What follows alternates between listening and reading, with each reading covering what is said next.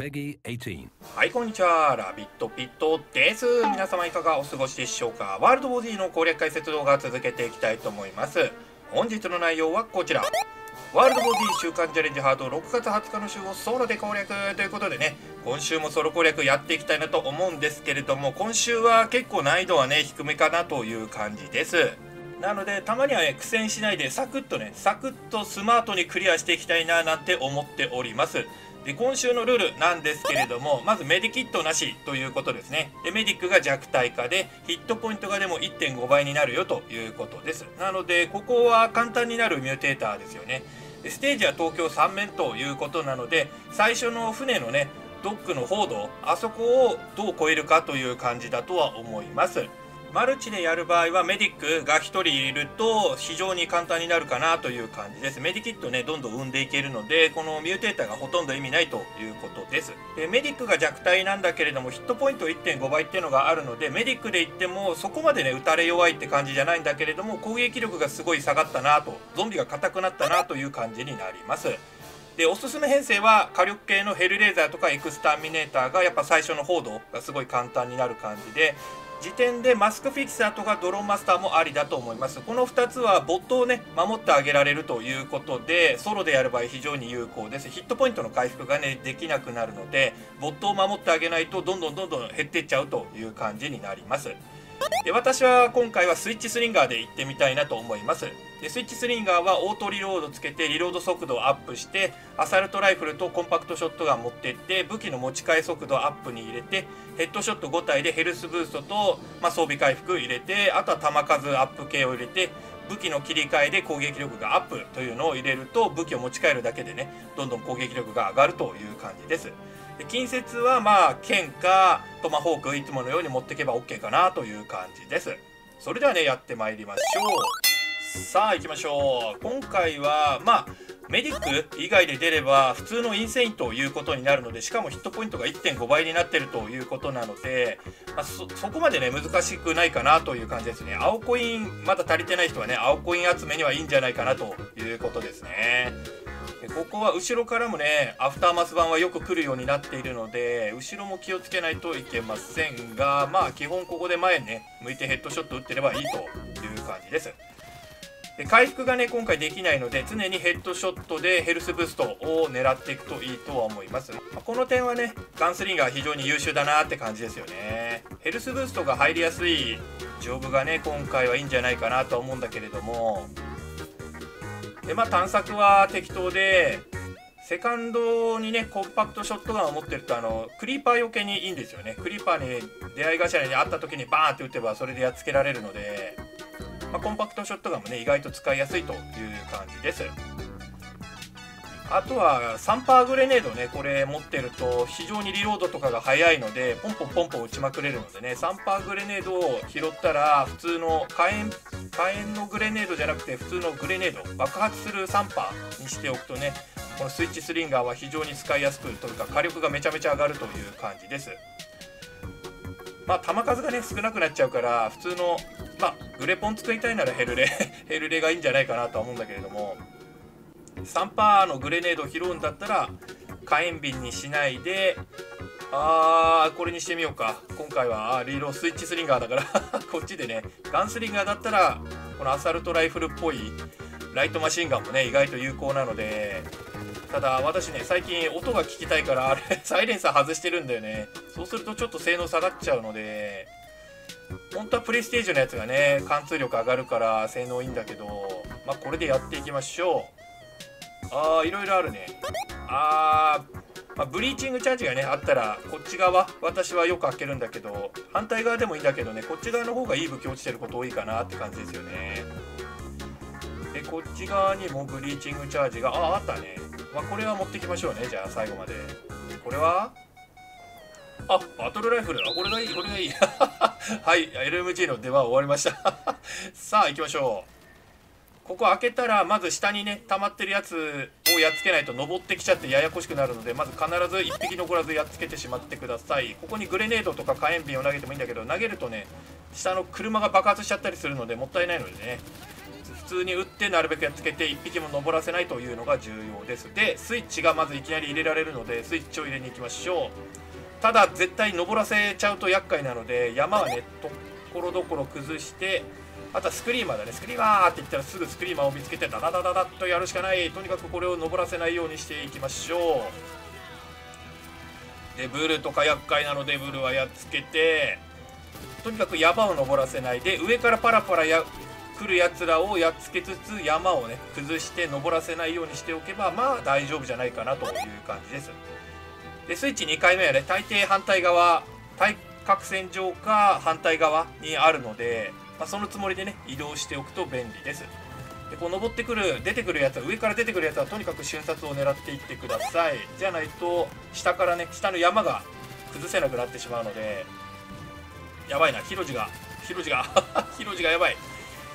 こういう時フィクサーだとねバーンってやって守れるんだけどなかなかそうもいかない。あそこにいるねおれれれれれれれれれれれれれれれれちょっと忙しいんだが全部ね崩さなくてもいいからとにかくね上の方だけでも崩して隣のねあでこっち側は車壊すと一気に爆発するので山をね崩すことが可能です。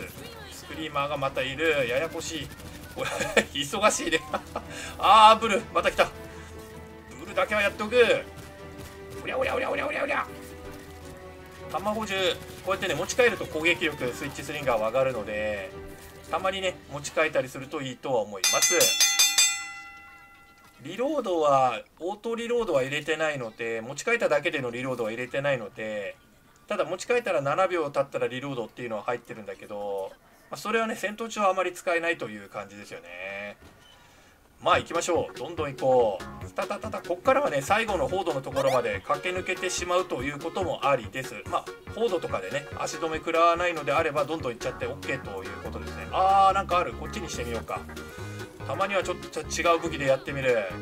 新型のね ACW で「あちょーあちょーおわっちょー」どうせメディキットを探索してもないから ブリーチングチャージあればねメディキットをいらないというか探索は必要ないかなというところだよね。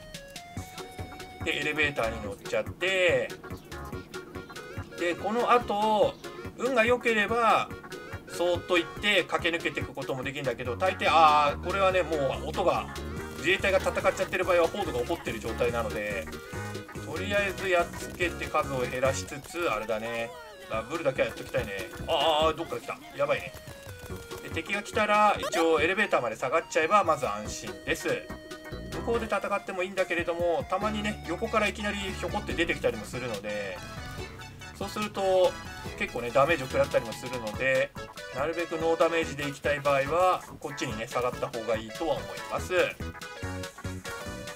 で弾数がね足りなくなりがちなんだけれどもさっきみたいにねこのエレベーターの入る前をその駆け抜けてしまえば球数温存できるのでここで弾弾切れの心配はないということになるはずです。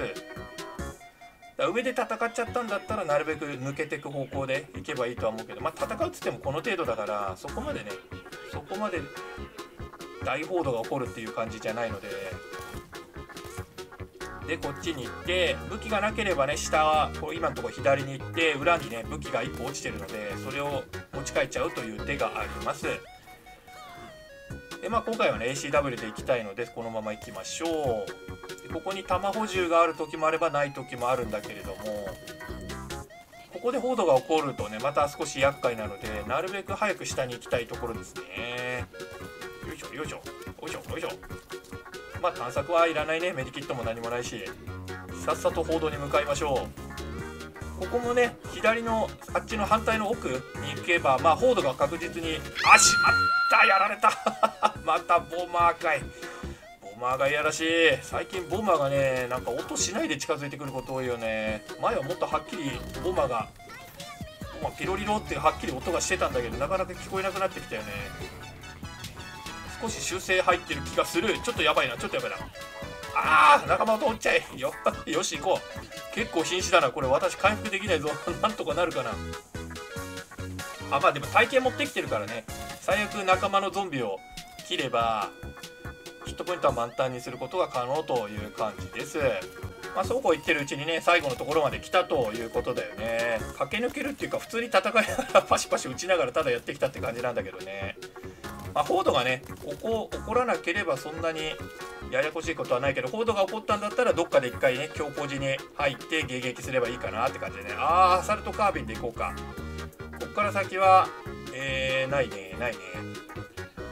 今回はそのヒットポイント回復ができないのでまあ一応ね一応こっちの引きこもりルームを作って引きこもれるようにしておけばまあ安定かなって感じだね。困ったらここに入れば大丈夫って感じになります。タレットガンとね電気柵をここに置いてでブリーチングチャージャーここ開けとけば引きこもってた時のねあのクローゼットになるので ここにね予備の武器とかが入ってるって感じになるよね。あーあった電気柵。これをじゃあ置いておこう。まあもらったね。うんまあもらったかなって感じ。楽勝って感じだね。たまには私もスマートに、うん、悪い例とか出さないでクリアしちゃうこともあるからうん余裕だね。たまには余裕でクリアというのもやってみたい。えー、っとタレットが、まあ、ここに置いとく？この下にでも。なんか結構来ちゃったね。あサイレンサーついてないから。サイレンサーついてな いからそれ来ちゃうよねって感じだよね。バババババババあの自衛隊の人守っておきたいうれれれれれれれ処刑うれれれれれれれあチェーンソーもあるねこれは困った時チェーンソー使えるねでタレットガンは引きこもりのとこに置いてで普通に戦うんだったら後ろの一番後ろの真ん中の階段のところに電気柵を置いてその辺でね戦えばまあ大丈夫かなって感じだよねあとはこっち側の細い通路のところにも余ってたら電気柵置くと有効です。こっちの方をぐるぐるね逃げたりすることもあるので追っかけますねゾンビの足止めって感じで。ここにね置いたり反対側にもう一個置いたりとかするとねいいとは思います。まあでもそこまで電気柵余ってることはマルチでもなきゃそんなにないと思うのでまあ引きこもり部屋に電気柵1個置いてタレットガン置いてって感じですね。まあ最初はねこっちから迎撃していきましょう。でまあコツというかポイントはとにかく打ちまくりゃ OK 打ちまくりましょうって感じだねとにかく。どんどん減らしていく。打てるやつは打っていくみたいな感じで OK だと思います。よし行くぞ。ドリャードドドドドドドドドドドドいい音だいい音させているあブルがいるペイロードでやっつけてバババババンバババババン反対側にも来たのでちょっとね後ろに下がってやってみましょうか。こっち側からね本来は引きこもりのところにずっと入っててもいいんだけれどもそっちからねギリギリで狙えばあっちの山は崩せるんだけど奥はね狙えないのでこっちから撃った方がね早くやっつけられはするのでまあ、ずっと引きこもってる必要はないんだけど相当やばいと思ったらねすぐ入った方がいいとは思います。あとこっちから来てるからねちょっとめんどくさいんだよね。でタレットガン復活させてで最初のホードが終わったらその後ろからわらわらわらわらいっぱい来るのでなるべくねその後ろからに備えてください。でこっからね狙えばあっち側の山は全部ライフル系とかだったらやっつけられるので ACW でも大丈夫かな。この隙間からね横から狙ってることになるのでいい感じにやっつけられます。さて大丈夫そうだね。あとはこの後ろから来るやつらをやっつければボットも自衛隊の人もまだ生きてるんでね。いけそうだね。あとはやっぱボマーだね。ボマーがいきなりススーって前とか横からいきなり来てることがあるのであれだけなんとかしないといけないね。あ後ろかな？後ろ。あこっちから来た。あれ？来てないね。これか？ああこれか。ブルか。グレネード当たってね。おれれれれれれれれナイスだ自衛隊の人。あリボルバーの方が強いね。やはりアサルトカービンはちょっと攻撃力がいまいち足りない気がする。もうちょっと攻撃力欲しいな個人的には。バトルライフルがやっぱいいね一番。バトルライフルでもうちょっとサイトが絞られたらね最高なんだけど。リボルバーとかでねなんとかその辺はカバーしていくって感じだよね。内側だったらここから狙っていきましょうか。リボルバーで弾数を節約していく。ドドドドドあスクリーマーねあれだけがヘルレイザーだったらグレポンでねポーンってうまく狙えば当たったりするんだけどあそこに湧いたのだけはやらないといけない、まあ、この辺まで出てこない出ればなんとか狙えるかなって感じだよね。あぶねよっしゃ一応戻ろう。油断するとねなああほら危な 危なかった。今のは危なかった。ナメプは良くない。ドンドドドン。OK いいね。おおいるぞなんか。離れるとちょっと離れるとさっと湧いてるよね。やらしすぎる。これであとは終わりかな？下がまだ開いてないか。ヘリがまだ来てないもんね。これであとヘリが来てもう一報道来るのかなって感じだよね。しゃあ見えないけどいるのかあれは。当たり判定は出てると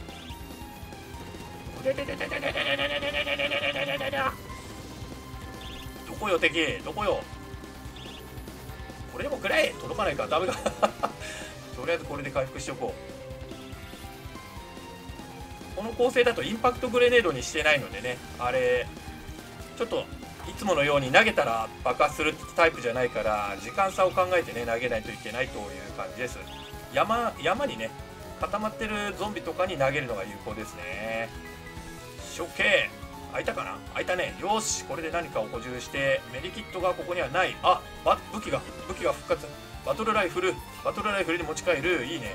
バトルライフルにしよう。やはり最後はバトルライフル。最後のことあっちか。真ん中かな？いや来たな。俺ららららららららららららこれ引きこもり部屋もこっち側から撃てば柵には登らせないぜドドドドドンわちゃちゃちゃちゃちゃちゃちゃちゃ持ち帰ってね火力を攻撃力アップを狙っていくというのも重要です。で弾数がね確か35%以下ぐらいになるとリロード速度が1.5倍みたいななんかそんなのがついてたと思うのでチェーンソーでやっちゃえブンブン。ブン OK パパパパンパパパ。パンしゃ夫もまだ全員生きてるね。ヒットポイントあんまりなかったけど さすが引きこもり部屋。強すぎる。標高じゃ強すぎる。引きこもりがやっぱり最強だ。ドドーン。これも回復してあああやばいな後ろがとりゃこっちに行っておっとクリーパーはいない。これをもらってスクリーマーがいたような気がしたが気のせいだったらしい。ああでも真ん中から来たね。ああ承知殺してしまったしまった。なんということ。とりゃうんしかも誰か捕まってる。やばいやばい。まずいぞまずいぞ。これはちょっとまずい。とりゃとりゃブンブンブン。やばい。引きこもりが外に出るとろくなことにならねえ。最後の一人になっちまった。いやまだヒロジが生きている。あ起こしてもらったけど。ああもう風前の灯火。あいやもうダメだろう。まずいまずい。あーやばい。ちょっと外へ出たらこれだよ。もうやってらんねえよ。やばいよやばいよ。うわいっぱい来た。なんか なんかさっきのあこれこれやっつければ。江戸を回復。決まった。妖刀村正チェーンソー。ブブブンブンブン。やばいやばいやばい。弾がない。弾がないぞ弾がないぞ。弾を補充に行きたいが。貴様らこの引きこもりなめんなよ。引きこもりなめるなよ。おりゃおりゃおりゃ。かかってこいや。やばい弾がない。弾がない。だがまだいける。早く終わってくれ。もう終わったの。ヘリヘリヘリを撃ってくれ。ヘリを撃ってくれ。どりゃどりゃ。うりゃうりゃ。まだチェーンソーがある。チェーンソーの燃料まだ残っている。一体どっから湧いているんだこいつら。は地味にダメージを食らっているがとりゃとりゃ私の肉袋はまだもういないのか肉袋は3人いたんじゃないのか。あそこにいるのかあれやっつけるのダメだね。やばい。あー抜かれた。電気柵がなくなった。ら終わる。まずい。この最後の砦で引きこもりの扉。引きこもりは扉を開けられたら終わるのだ。あんた何やってんの？って言って開けられた途端にねなんかもう人生が終わるみたいなところあるからまさにワールドボゼットの引きこもり。ちょ止まんない。なんだこいつら。弾がない。弾を取りに行ってこよう。やばいやばいやばい。囲まれている囲まれている。弾をあれここじゃなかったっけ？弾どこだっけ？やべえ。やばいやばいやばい。まずい。おりゃおりゃ。外に出るとやっぱろくなことがね世間は世知がない。まずいぞまずいぞまずいぞ。引き込まれだが弾がない。どうしよう。なならばこの剣で。よちゃ。いや外の世界はねやっぱ結構やばいということがよく分かったね。やばいやばいやばい。おりゃおりゃ。スーパンで死ねるぞ私。まずい。何か直撃しただけで死んでしまう。弾がない。だが持ち帰ることで攻撃力が上がったりしないか射撃しか上がらないのか攻撃力が。おりゃいい加減終わってくれ。まだかまだ終わらないのか。ちょっと待ってくれ。本当に弾なしスリンガーになっちゃったよ。弾なしスリンガー最も役に立たないクラスの一つになってしまった。男性員がなのに弾がないってショーが帰ってきてるじゃないか。おおナイスだショー。お粘ってたら帰ってきた。やったぞ。これでもらったね。うん。これで仲間が全員復活して私の肉袋タレット。さすがだね。弾がないなら肉袋を復活させればいい。これだね。いやみんな帰ってきた。形勢が逆転したぞ。これはつまりほとんどの敵はボットが ボットがやっつけてくれているということだいや余裕だったな。キーって感じだね。うん。ということでですねまあ基本基本どのクラスでもまあなんとかなるかなという感じですよね。まあそんな感じとなっております。よかったらね参考にしてみてください。それじゃあね今日はこんな感じで終わりにしたいなと思います。ご視聴の方ありがとうございました。またね面白い攻略動画とか、まあ、最近4人実況とかね始めたのでそちらの動画の方もねよろしくお願いいたします。それでは「ラビット!」でした。皆様の良きワールドウォーズイライフをお祈りしております。ほいじゃまたね。